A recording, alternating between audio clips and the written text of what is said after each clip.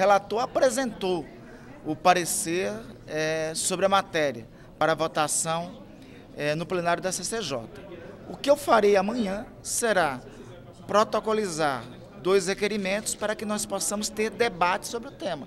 Nós não podemos simplesmente votar ou amanhã ser já apresentado o parecer do relator, pedido visto na semana seguinte votar.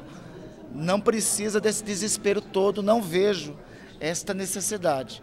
Eu irei solicitar que nós possamos ter pelo menos mais duas sessões de discussão na CCJ em audiências públicas, convidando todas as partes envolvidas, Associação de Magistrados, Associação Nacional de Procuradores da República, o próprio Procurador-Geral, ministro do, eh, ministro do Supremo, é, Ministério da Justiça, não considero aceitável é, debatermos esse tema sem que as partes interessadas sejam chamadas a, ao debate. Por isso que amanhã apresentaria esses requerimentos de pelo menos duas reuniões de debate com, em audiências públicas é, na CCJ.